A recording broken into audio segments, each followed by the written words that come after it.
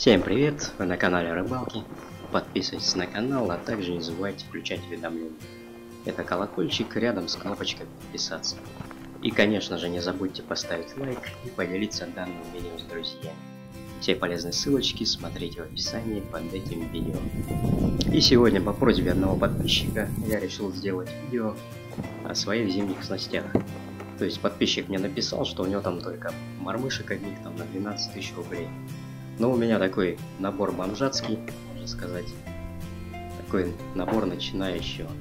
Только-только я начинаю, то есть вот, два сезона, пока второй сезон пошел. Когда я более-менее так серьезно взялся за зимнюю рыбалку. Ну и сейчас я вам покажу весь свой зимний рыболовный скарб. И, друзья, не стесняемся, пишем в комментарии, общаемся в комментариях поактивнее. Ну и в этом видео я вам расскажу именно вот конкретно по снастям, которые я использую, которые я с собой ношу. Вот, так как у меня еще есть там несколько удочек, но я их еще не оборудовал, но вот буду именно рассказывать по тем, которыми я пользуюсь, вот, более конкретно. И начнем вот с удочек. Вот у меня три удочки, которые оборудованы под мормышку. И сейчас каждую из них более подробно, более близко рассмотрим. Ну и вот начну с такой удочки. На Алиэкспресс заказал ее, но это как мне сказали подписчики там в комментариях, есть аналог такой, то ли у Salmo, то ли у Rapala, какая-то известная модель. Но, в принципе, вот это меня тоже устраивает. Здесь такая мягонькая, она сама маленькая, очень компактная. И все здесь продумано. То есть вот здесь место под мормышечку, куда цеплять. Вот, но она шла уже, купал я ее, шла с колечком, то есть не под киок она шла. Вот, колечко я удалил и пользуюсь вот киочком. Очень легкая, очень удобная. Но единственное, вот ее такой... Ну, была дискуссия у меня тут. Одно видео, открытая или закрытая катушка. Вот, открытая катушка. И что получается? Вот, может, видели там с рыбалкой у меня видео. Очень часто вот сюда вот набивается снег. То есть я ее кидаю в снег, снег набивается. Он может подтаять, потом замерзнуть и очень тяжело поэтому леску скручивать. Как, вот этот, конечно, минус открытой катушки. Ну и следующие две удочки, вот под мормышку такие вот балалаечки. Вы уже видели у меня на обзоре. Идет она вот с такой вот ножечкой. Но я их как бы без них обхожусь, то есть их с собой не таскаю. Вот такая закрытого типа катушка. Что мне нравится, тут железных элементов нету все пластиковая, болт пластиковый. Очень она такая сбалансированная, очень хорошо. Но вот единственный минус, некуда вот цеплять мормышечку. И получается, вот я вот так вот как бы леску огибаю и цепляю вот ее вот сюда. Но мне посоветовали в одном видео, где-то в комментариях написали, найти кембричек нужно вот сюда насадить его на хлыстик и за него уже цеплять. Но пока я кембрика подходящего не нашел, резинку, думаю, смысла нету, так как на морозе там она уже... У меня были уже резиночки, но на морозе они рвутся очень хорошо. Ну и вот две удочки у меня таких, одна на одной леска 0.1, на второй там потолще там 0.12 что ли. Так, ну и дальше у меня удочки для блеснения. Вот такая вот, я уже показывал вот эти маленькие блесны, обзорчик. Вот под маленькие блесенки, именно под окуня. Оснащен таким вот кивочечком. Леска здесь у меня 0,12. Так как блесенки маленькие, нужно, чтобы если будет очень толстая леска, то игра будет уже не такая. Но пока я еще не успел использовать. Но думаю, в ближайшее время вот походить с ней. Сейчас я выздоровел, то есть я тут проболел почти пол февраля, там 20 дней, очень сильно. На рыбалку не ходил. Дальше вот такая вот удочка под блесны побольше уже идет, то есть под более большие блесны. Тут леска уже у меня 0.15 стоит. Вот как видите, такая удочка, тоже самоделка. Но делал я ее не сам в магазине такую купил. И я вам скажу, для самоделки это дороговато. 160 рублей она мне стоила. Ну, я тогда только начинал, особо не разбирался. Вот тоже вот такая блесенка, онега. Буду тоже все это пробовать. Но начинать буду с маленьких блесенок. Так как там больше вероятности, что будет поклевка какая-то. Ну и тяжелая артиллерия. Вот такая вот удочка телескопическая. Это уже на крупную рыбу. Пока что с ней не ходил. Так как надо еще найти сначала места, где знать, где там действительно на крупную рыбу. Тут уже без кивка. То есть вот это именно удочка у меня будет под балансиры. Ну, у нас как я поспрашивал местных рыбаков, говорят, якобы на, на балансир окунь не ловится. Якобы не приучен тут балансиром он. Ну, буду пробовать, буду пытаться иногда, иногда с собой захватывать, если напорюсь на точку, где будет клевать на блесна, буду пробовать и на эту ловить. Катушка, удочка сама, это все с Алиэкспресс. Катушечка шла с леской, и леска тут довольно мощная такая. Наверное, 0,25. Ну, по снаряжению немножко вот такие вот спасалки у меня. Пока, слава богу, ими не пришлось воспользоваться. Но я уже как-то показывал где-то в видео эти спасалочки. И подписчик какой-то написал, что они не очень. Что якобы вот здесь, вот в этих местах они отламываются. Ну, я их немножко усовершенствовал. Вот такие колпачки сделал.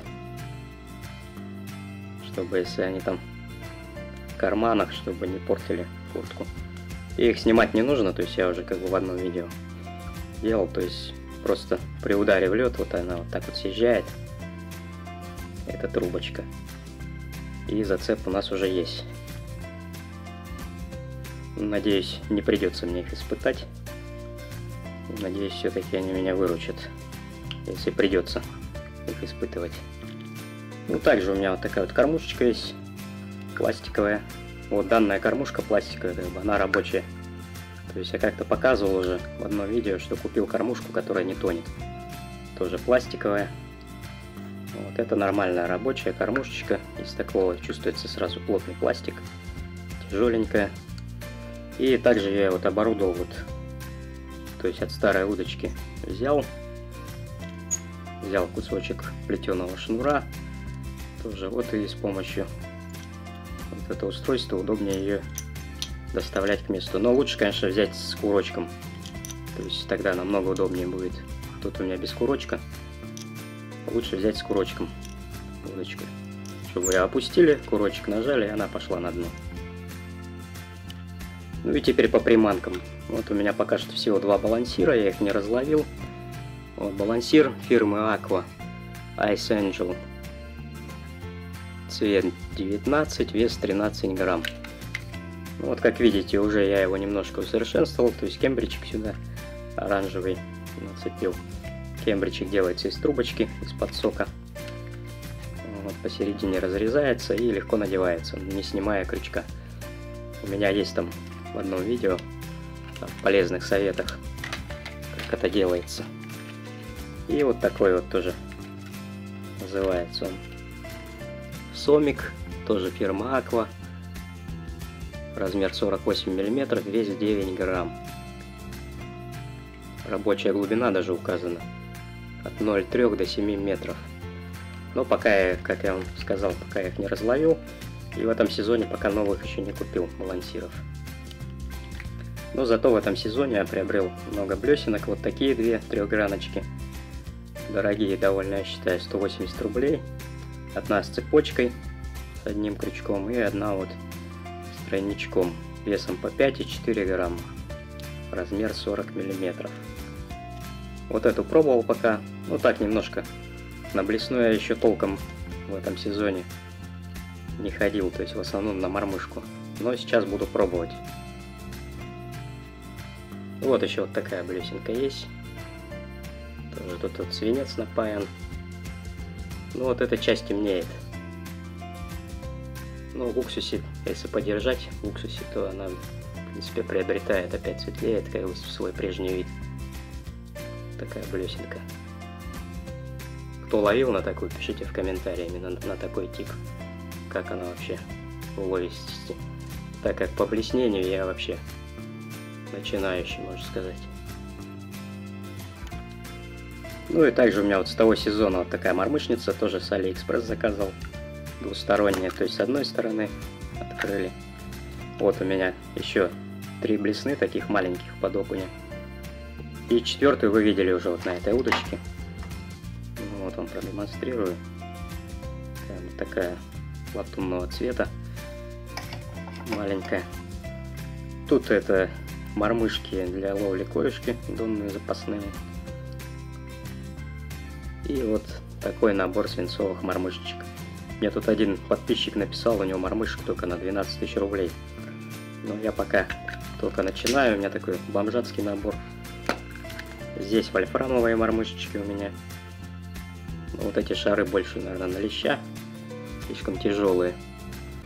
Ну, вот этого муравьишку. Муравья, каплю. Я, в принципе, использовал. И что-то у меня ловилось на них. На банан пока вот этот. Вроде как банан называется у меня. Два вида золотой и медный вот такой вот. Пробовал ловить, но тогда как бы клево не было. Толком ничего сказать по ним не могу. Также вот чертик есть. Два чертика, один вот отломался у него крючок один. Не знаю, как бы напишите в комментарии, есть смысл его использовать или нет. И вот такая вот тоже капля на крупного окуня. Тоже, если найду точку, буду его пробовать. Ну и по ножам для ледобура. Вот сейчас у меня вот установлены вот такие. Скат. Я так понял, это ножи называются. И они меня устраивают. А здесь у меня внутри уже лежит тот, который в комплекте шел нож. Вот с такими болтами. Я уже на них фумку накрутил, так как они выкручиваются как их не закрути, они выкручиваются. Сейчас ножи покажу сами. Вот такие ножи. Они идут для сухого льда. Идут в комплекте вот такой вот формы. Кто не видел. Но у меня лежат про запас, так как меня те устраивают пока. Как бы эти пусть лежат.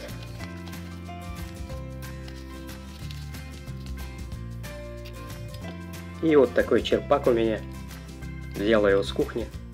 И считаю это самое надежное, так как покупной у меня один просто отвалился, одна ручка осталась. Деревянная, сама насадка вот эта слетела у меня, когда я шугу вытаскивал в лунку, слетела. Пластиковую я тоже покупать не хочу, я так посмотрел, когда в магазине. Один уже сломан был. То есть они довольно хрупкие. А это как бы самый надежный вариант. Нержавеющий, сколько наши деды и отцы такими в основном пользовались, с кухни брали. Вернее, в то время только такие были покупных и не было в продаже практически. Ну на этом на сегодня все. Подписывайтесь на канал, кто еще не подписан. Ставьте лайки, пишите в комментарии. Всем пока, до новых встреч.